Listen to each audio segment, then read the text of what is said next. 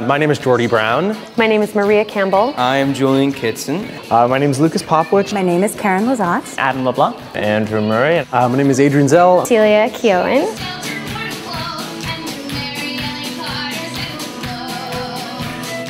I'm the director I'm the choreographer, in Stan Rogers A Matter of Heart.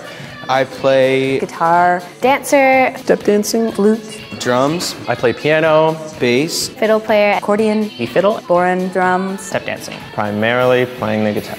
and mandolin.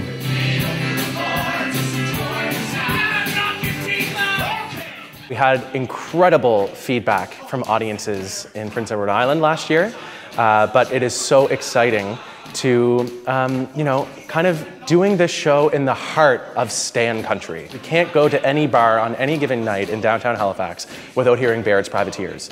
Nova Scotians love Stan. And you know, it's in our blood, um, but it's because Stan loved the East Coast and he loved Nova Scotia. Well, my mom is from Nova Scotia, and her and all of her sisters, their entire family, uh, the most of her family lives here. So we would come and visit every second summer, and I remember my mom and all of her sisters getting together and singing Barrett's Privateers and Northwest Passage. I love drinking to Stan Rogers songs. It just got me so fired up.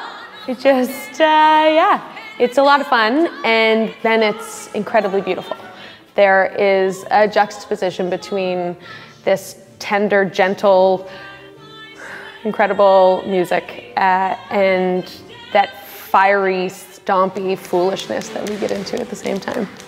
There's actually a chair dance, which is a style of, more of an Acadian style of step dancing where we're all dancing in chairs, which is very fun. We're always interacting and supporting each other and playing off of each other and you know laughing at each other if, if something happens to go wrong and cheering cheering that person on if you know oh they did a really really cool step dance move tonight. And that has been the biggest takeaway for audience members that I've really enjoyed hearing is you all get along so well. You all hold your own. You know, you couldn't sacrifice any one of the nine performers on stage. Stan tells so many stories in every single song, and there's more than 25 songs. The Jeannie C. I sing the song Tiny Fish for Japan. I sing a little bit of Northwest Passage.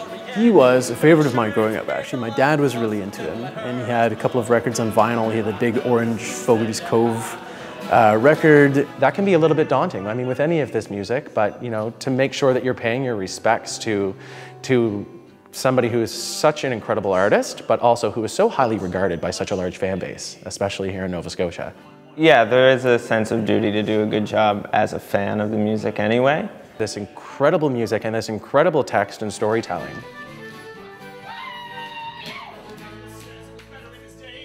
I love the energy that this particular version of the show brings to stand music. It's amazing to be in a cast with other people that love music. Keeping up with all that amazing talent that's just bouncing around the room and that creative energy, it's, as I said, it's an embarrassment of wealth, but it's definitely been an amazing, amazing experience. Just so much talent brought to the table, vocally and instrumentally. People are just blown away, and they, you know, they, they can hardly pick a favorite performer in this show. Very excited. It feels great. I feel so lucky that I got to be a part of this show. when we sing the Mary Ellen Carter at the end of every night. And the crowd is just, they can't contain themselves. They are just over the moon, and it's just an instant standing ovation.